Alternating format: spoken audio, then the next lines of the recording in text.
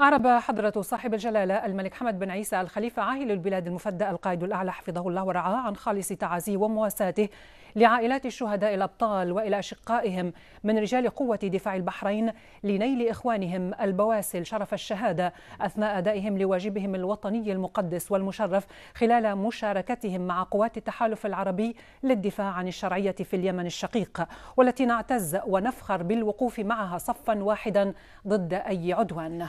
وأضاف جلالته أن هؤلاء الشهداء الأبطال نالوا أعلى مراتب الشرف وستبقى أسماءهم خالدة مضيئة في تاريخ البحرين المجيد.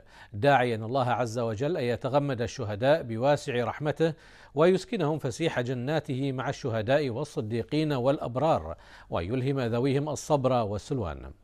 جاء ذلك خلال زيارة حضرة صاحب الجلالة الملك المفدى القائد الأعلى أيده الله إلى القيادة العامة لقوات دفاع البحرين حيث كان في استقبال جلالته معالي المشير الركن الشيخ خليفة بن أحمد آل خليفة القائد العام لقوة دفاع البحرين وسعادة الفريق الركن يوسف بن أحمد الجلاهمة وزير الدولة لشؤون الدفاع وسعادة الفريق الركن ذياب بن صقر النعيمي رئيس هيئة الأركان وعدد من كبار الضباط.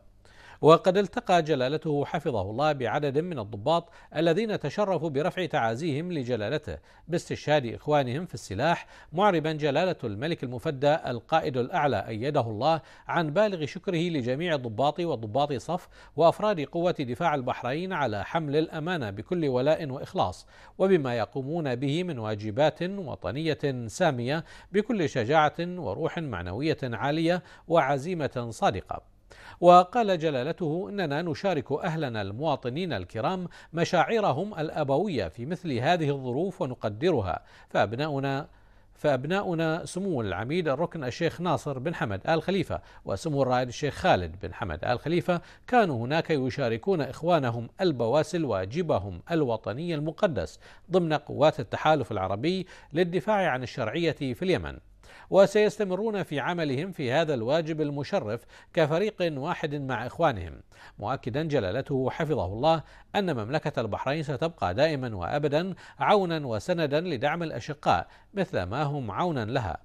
ولن نتردد أو تتأخر أو نتأخر لمؤازرتهم لمواجهة التحديات والمخاطر التي تواجهها الأمة العربية.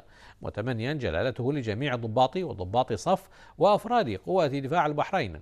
دوام التوفيق والنصر المؤزر والسداد في مختلف مواقع عملهم المشرفة.